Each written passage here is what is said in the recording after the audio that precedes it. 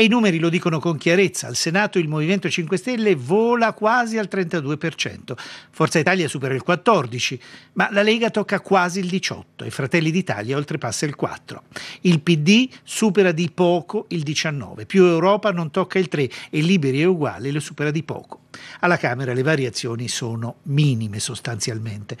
Le coalizioni al Senato, se da solo il Movimento 5 Stelle, come detto, arriva al 32, il centrodestra è al 37,48, il centrosinistra al 23,11. La situazione delle coalizioni non cambia granché alla Camera.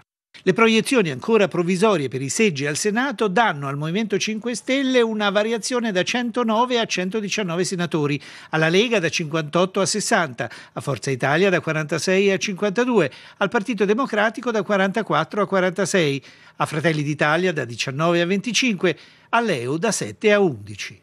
Risultato, al momento alla Camera e al Senato non c'è una maggioranza precostituita in grado di far nascere un governo, un rebus che toccherà al capo dello Stato affrontare subito dopo le elezioni dei due presidenti del Senato e della Camera, che dovranno tener conto